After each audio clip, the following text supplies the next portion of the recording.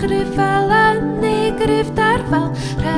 gwir a cyfle mallog i barth ni saith o fw am y Gys pelen gron gyfanedd hib fod iddi ben a diwedd fe Llidra gwyddol deb yn tai sydd heb diwedd nag heb ddechrau